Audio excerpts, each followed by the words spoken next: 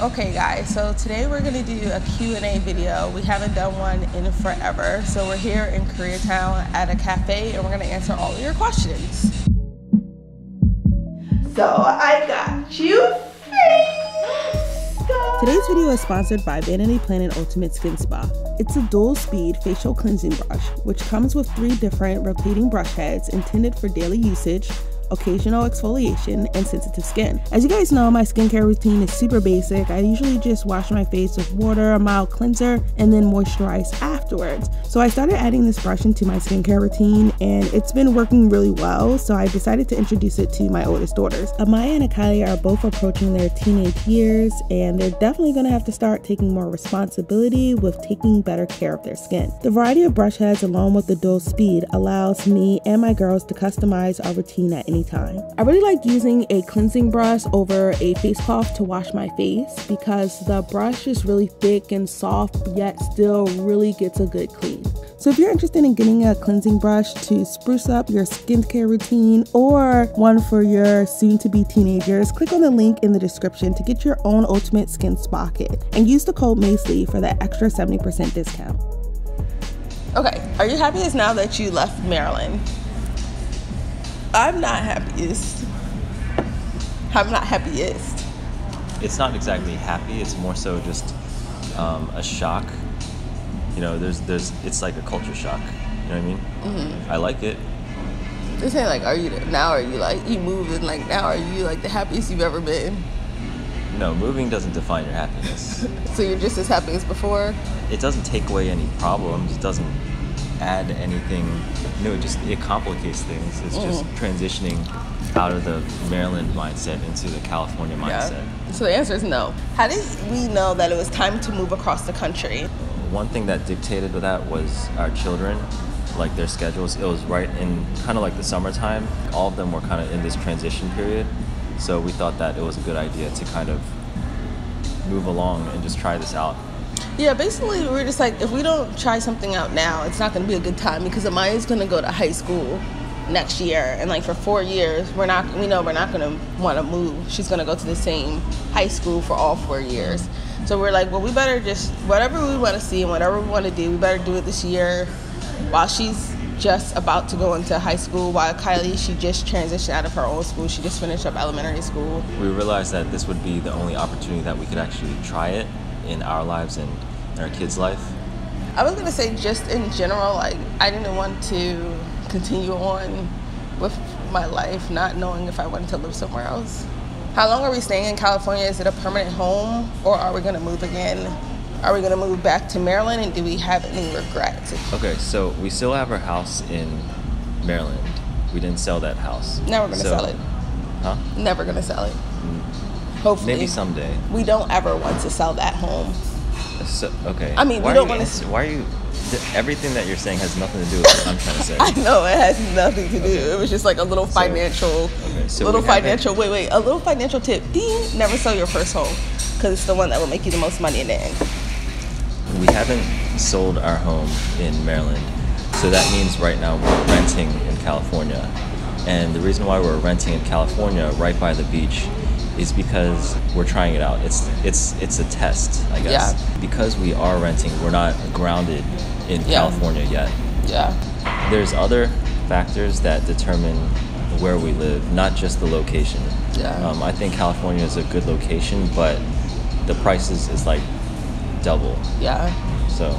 I mean, the area has a lot to do with it, but it's not like I feel like I'm going to this area because it's the only where place I can live my life. I feel like we have like a lot of different options that we could choose from to live in different like places. So I mean to be honest, I don't know why we I don't know why we're here in Venice, but I do know it's something that we had to do mm-hmm. and something that we had to uh, I guess obey in mm-hmm. a sense. Yeah. And so like um there's there's a lot of things that's kind of up in the air that doesn't really make any sense to me or to Alena, but um, I'm glad that we are here because I feel like we're a lot more decisive about what we want and what we need. Mm. Well, you know, like we used to be kids, then you're a teenager, then like you're a young adult, and you're like trying to figure out like what apartment am I gonna get? Or am I gonna move out of my parents' house and get like an apartment? How am I gonna afford an apartment? Like, who am I gonna be roommates with? Type of thing. And like, those are like all the questions that are like surrounding your mind, you know? And like, you don't really think necessarily like, oh, right at this moment, I need to make sure I'm in the place that I wanna be. Because like, you can do anything, you know? Mm-hmm. You can sign a lease for a year and then up and move, you know? So that's what I was doing for a really long time. I would just sign a lease here, move, stay in Maryland, but so like now I feel like we have more of like a responsibility for our own lives to make sure that we're living exactly the way we want to live, you know, in different lifestyles basically. A different place may represent a different lifestyle, and I don't think there's a right or a wrong one. It's just what me and him decide like works for both of us. And I feel like as an adult, like my own self, like I could easily go live in New York for three or four years and then move somewhere. Like, but since I have kids, I feel like I have, we have a responsibility to like stay somewhere. You know what I mean? Because to me, it doesn't really matter where you are, where you are. It's just like who's around you, you know. And as long as like you and the kids are around me, like I don't really care. Okay, well, it's a couple of questions. How did we save to get to California? I said, is California expensive? Um, is our financial situation what we expected since we moved to California? And what are our plans on to um, obtaining our own house? We just already had money saved up. I'm not really going to get into that because it's a very long spiel of how we save our money. And I was going to plan on doing that on my new channel called Alena Maze and just talk about our financial stuff on there. But we but basically we just budgeted and saved our money. Is California expensive? I don't think California, like the stuff around here, is expensive. I feel like the housing is crazily expensive. Private schools are more expensive than I would like them to be. Can you guys imagine paying $40,000 a year for a child to go to school? That's how much it costs for like a really great private school. I think that's like too much money. I think that Like, there's a lot more places to spend your money. There's like lots of like little eateries and cafes Yeah. and like little places to like do your work and and just I don't know. I feel like Yeah, especially where we live in Venice. I mean in Venice and in Koreatown. We're in Koreatown. There's always like somewhere for you to stop by and just like throw your change. little your bit. five dollars, ten then- dollars here. Yeah, and then they have the machines now where where like they flip the little mach- they flip the monitor on you so that you can add the tip on there. I know. Not So add no tip. What add a tip for what? We So then- constantly adding tips.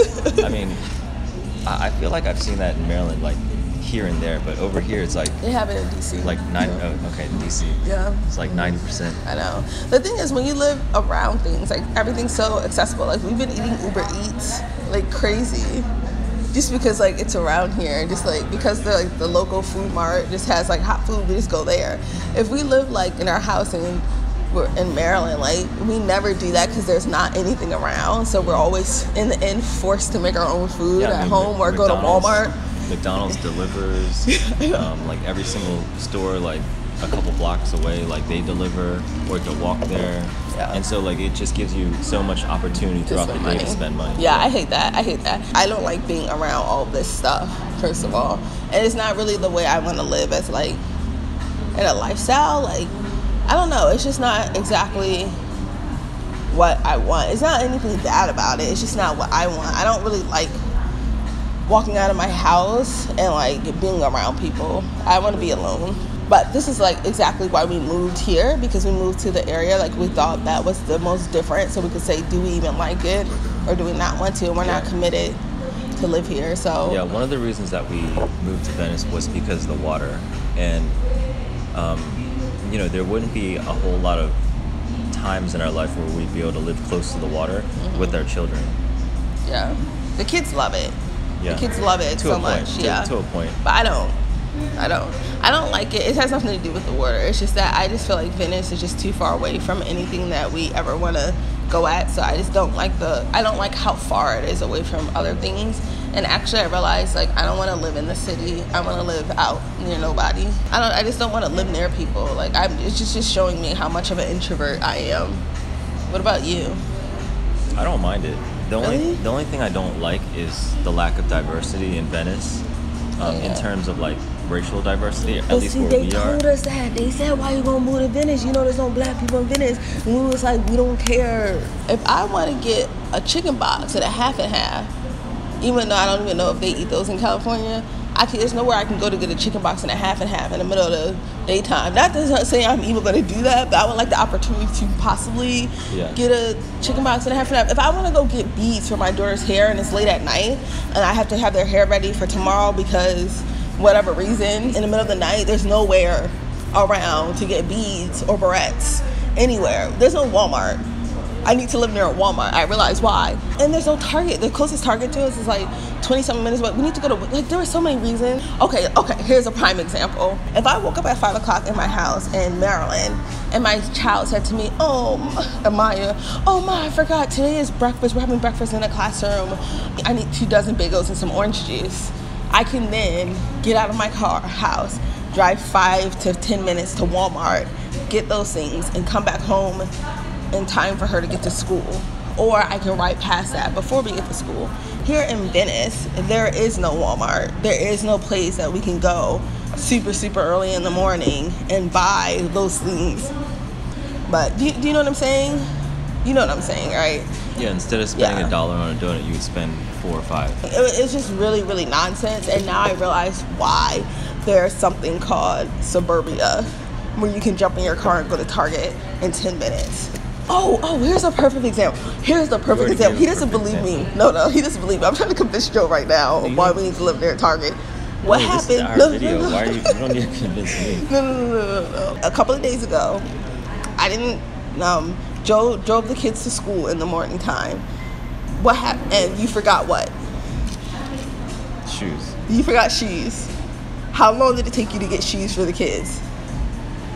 Once he he forgot them, so he's like thirty something minutes away from the house now, or forty something, or an hour away. I don't know. It took me like an hour and a half. It took him an hour and a half to get them a pair of shoes from the store because number one, you're in the middle of the city. There was no Target nearby that sells like kids shoes. There's no Walmart, and so like he was just like running around the whole town like trying to find the kids a pair of shoes. I can't live like my life like that.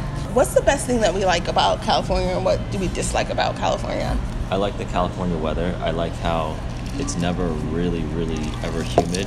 The sunsets are always really different every night um, and just really nice. I like the sound of the ocean out here. It sounds like an ocean. Like it's really like loud.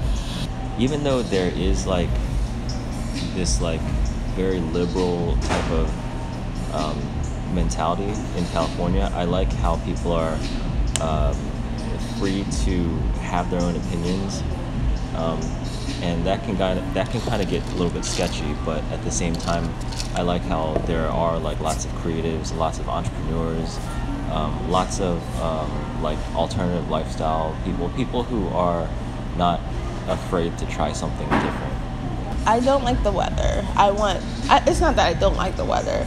I want fall and I want snow and I want Christmas snow and I want the weather to change. I'm I'm sick of seeing the sun. I'm sick of the sun, Joe. Weather plays a super important part in your life. You know. Sometimes I wake up and it's raining Sometimes outside. you just have a bad day. Sometimes I just- Sometimes I want to wake up and be rainy, so I have an excuse of why I don't need to do my schoolwork.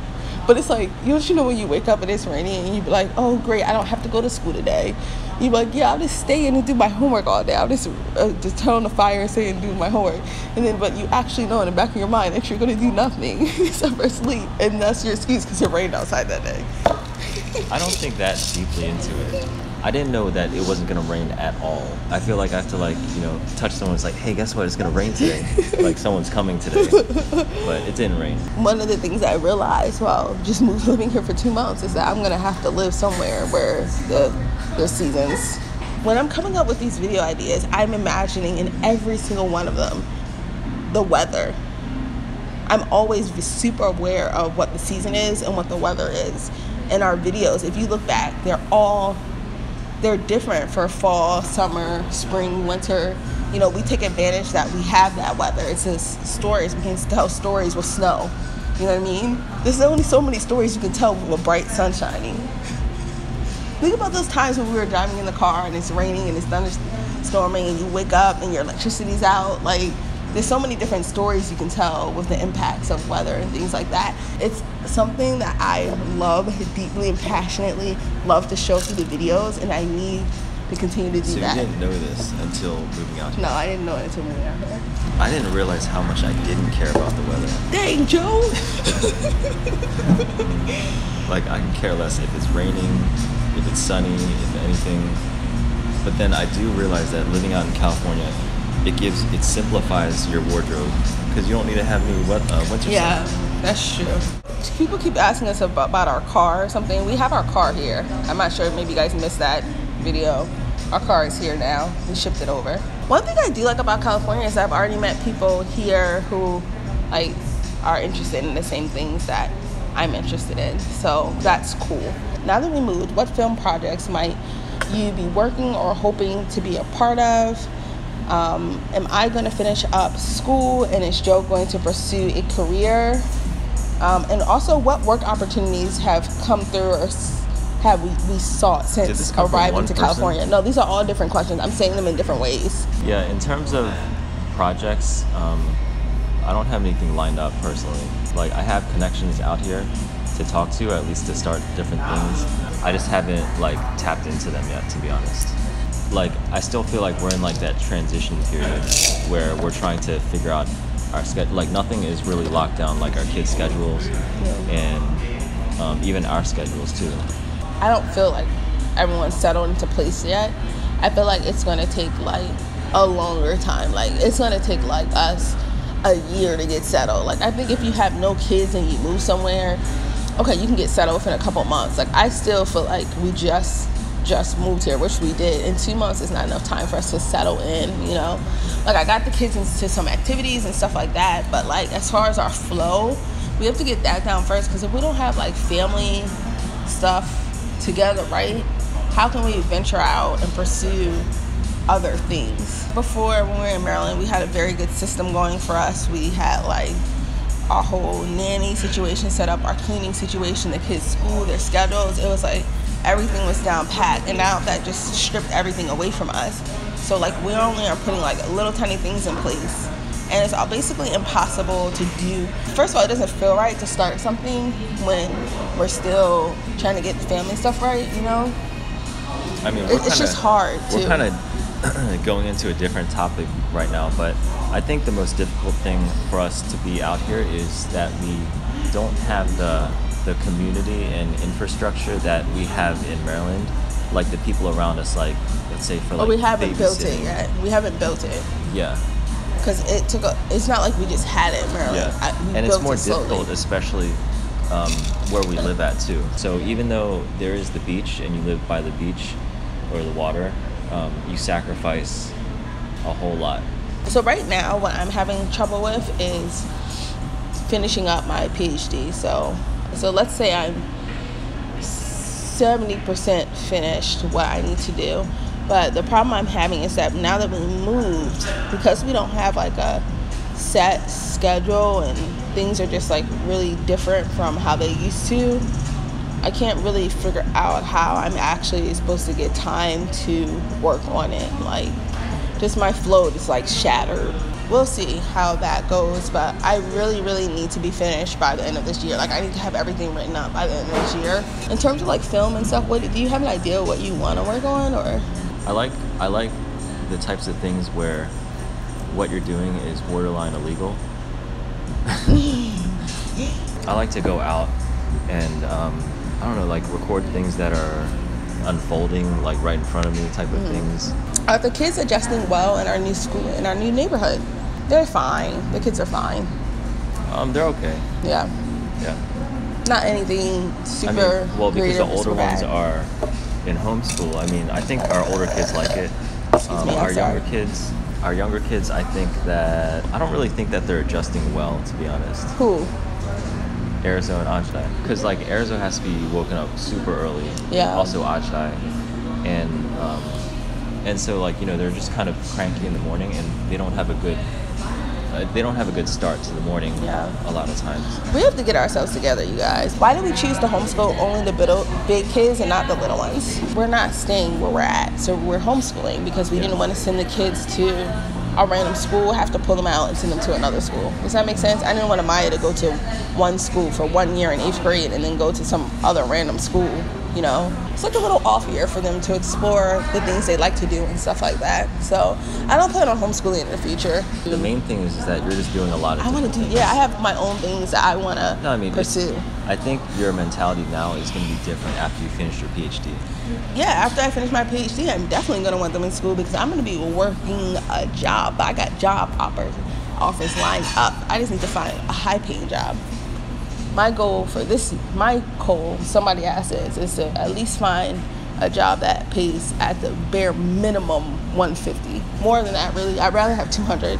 I don't want to go to work if I don't, if I don't make like a lot of money because it's not worth my time. I could be doing something else. I know how much I'm worth, and I want to get a job where I can get bonuses. Why don't you pursue a job that you can give out the bonuses? Listen, that's what I was about to say. I was going to say what I would like to do is like have a consulting where I make my own money and where I can get my own bonuses. I mean, in the end, I mean, that's where I want to start, but that's not where I'm going to be in five years.